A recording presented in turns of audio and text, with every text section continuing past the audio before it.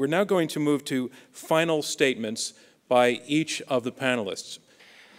Um, let me begin my concluding remarks by uh, answering the last question that was asked about what would constitute victory. As has already, I think, been made clear, uh, Sir Malcolm and myself both share the view that we've long passed the point at which anything uh, approaching victory really is achievable. But let's let's suppose for the moment that we magically forget about all the damage done uh, and we simply focus on starting at this moment if it were possible for all U.S. troops, not just the 25% that are combat troops, all U.S. troops to return from Iraq. For that to occur with Iraq remaining stable and without further violence. If the 5 million Iraqi internally displaced persons and external refugees then returned to Iraq, also without violence if Iran abandoned its pursuit of nuclear weapons. And if Iraq gets just to number 150 in the corruption index, I would consider that we would have made enormous progress. Nobody believes these things are going to occur. Nobody. Nobody.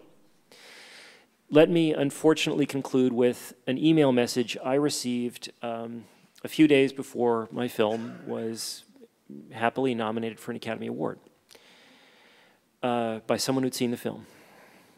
My son, Noah Charles Pierce, served two tours in Iraq, and in your film, you showed a scene of kids throwing rocks at trucks, and you can hear the soldiers wanting to shoot the kids, which is true. Shortly after the invasion, my son was in Baghdad cleaning up the dead civilians who were being pelted while being pelted with rocks. The kids grew braver and became more effective until orders came down to shoot them. Charles, I'm, I'm sorry, I have to cut you off. I'm sorry, I'm going to finish. I'm, I'm sorry, I have Soldiers to cut, gunned Charles, them down. I'm sorry, I have to cut you off. Last July, my Charles, son committed suicide. I'm sorry, I'm sorry. Sorry. Was that the end? Well, since I talked all over it, and the audience is saying, let you finish, read the last sentence again. Okay. My son watched in terror as his fellow soldiers gunned them down.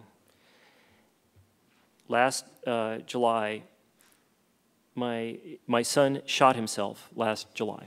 We have admitted openly that we had a failed strategy in Iraq for three plus years, but we do have a winning strategy now. And I look at Iraq as an opportunity. It is clearly in the United States' national interest to have an Arab Muslim country with a duly elected democratic government aligned with the United States in a region of the world, like it or not, that we will spend the next 30 to 50 years involved in, and it will continue to be ideological and serious struggles there.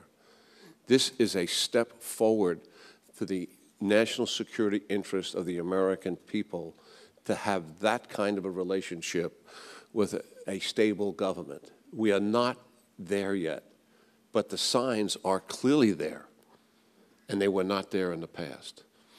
And with the investments that we are making in resources and in certainly with our soldiers' commitment and yes, with their lives, that is absolutely worth the sacrifice, in my judgment, in terms of the security of the United States and what that region, that troubled region in the world will be. There is not a single Sunni Arab state that surrounds Iraq that will not change as a result of a stable, duly elected democratic government in that country. And the Iranians will have to change and be influenced by it as well. And that is the opportunity that is in front of us. And that is why we are so committed to it. And regardless of all the mistakes in the past, that is in front of us right now. General Keane has just said that in his view, what might be achieved in Iraq is worth the sacrifice that has been made. I think, you know, that's a very easy challenge to test. I think we just have to ask ourselves if five years ago we had known that by going to war, over 100,000 Iraqis would die, 2 million would be refugees in other countries, the internal economy would collapse, the Shia and Sunni communities would get into sectarian conflict, and we would have helped make Iran the real power in the Gulf. Would we have thought that achieving an Iraqi government which was elected, but which is not a true democracy yet and may never be, that that was on balance a sacrifice worth making? Uh, I don't believe that the 100,000 Iraqis who have died or their families who have survived them will believe it was a sacrifice worth making. Iran is the real winner of this conflict. The Iraqi peoples have been the losers. The fact that they may now have a government which is better than Saddam Hussein, but what a terrible price they have paid for it. And we know that we're not going to invade any other country, knowing what now we know happens when you carry out such a strategy as we have carried out in Iraq. Um, I'd like to start by noting for the record that a number of people left, and I have psychic abilities, and I know that all of those people would now vote for the proposition, and I hope that their votes will be counted. Um, look, I, vote however you want to vote. I, that's. Uh, uh, let me step back from that for a minute and just say this issue is too important for us to continue to be the bird that flies backwards always looking at where it was and never looking to where it's going.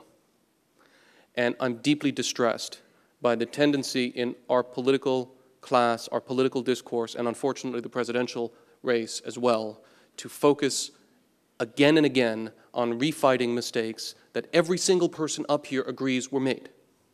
And every single person up here criticized. The issue is not did we make mistakes? The issue is where are we now and where are we headed? And that is what we need to focus on as a nation. Because the world will not stop and stand still while we flagellate ourselves, or as some of us flagellate others, for mistakes that were made, and we cannot go through the entirely self referential exercise of beating ourselves up for what we did wrong and assume that the world will wait till we get through that and then do something. The stakes are too high, and we can't have a conversation like that. As for effect on the region, let me simply end with a little story. I went to the border post opposite Mehran, uh, which has a major Quds Force base um, in Iran. And I stood on the border, and I spoke with an American officer who every day met with and spoke to some of the tens of thousands, hundreds of thousands of Iranian pilgrims who come to Iraq every day to go to the holy shrines of Najaf and Karbala and in Baghdad. Right, I have to cut you off. You have Uh, 10 you're going to take 10 seconds. Okay. They say three things to him, he said, No, all the time. I got to give you 10 seconds. This is 10 seconds. Thank you. We love America. And come visit us soon. Now we see how this turned out. Once again, we'd like you to turn to the keypads that are by each of your seats and reminding you what our motion is. America is finally winning the war in Iraq. If you support the motion, press number one. If you are against the motion, press number two. If you remain undecided, press number three. And within a few seconds, actually, we will have the results. Interesting. We've had some movement. Before the debate, to remind you, 20% were for the motion, 54% were against, and 26% were undecided. The motion for moved more of you. 36% are now for the motion, 53% are against, 11% remain undecided. So while the majority view remains against, more people's minds were changed by the course of this debate in support of the motion the U.S. is finally winning the war in Iraq.